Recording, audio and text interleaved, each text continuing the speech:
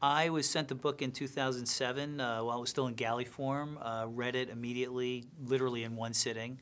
Uh, could not wait to be part of it. Uh, Leo DiCaprio optioned the book, uh, took it to Marty.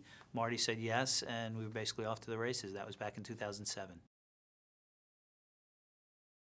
It was just an incredible ride. I mean, it was just such a roller coaster ride, ride of insanity, and, and I just couldn't believe that this guy actually was real, uh, that anybody had such a life like this, and just it was just and live to tell about it. It's also, you know, for me, uh, Jordan and I are roughly the same age. We grew up in the same area. I worked on Wall Street. There are a lot of similarities, you know, that I, I sort of recognized in him and, and, in my own background, and I just sort of felt like I understood him. And it was just hilarious, funny, horrific, and all those things, and just everything a screenwriter could ask for.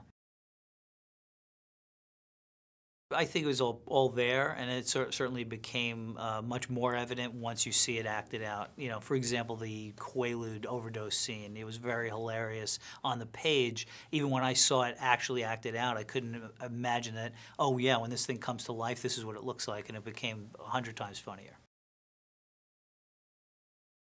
Well, it's a massive story. I mean, if we were to film the actual book, it would be an 18-hour movie. It was just huge. I mean, just huge in scope and a lot of uh, a lot of different characters that had to be combined into. You know, I'd combine three characters into one character, for example, or you know, truncate a timeline, things like that. And you know, it's just really getting my arms around the whole story to tell it in a you know pretty relatively concise beginning, middle, and end. The rise and fall of Jordan Belfort.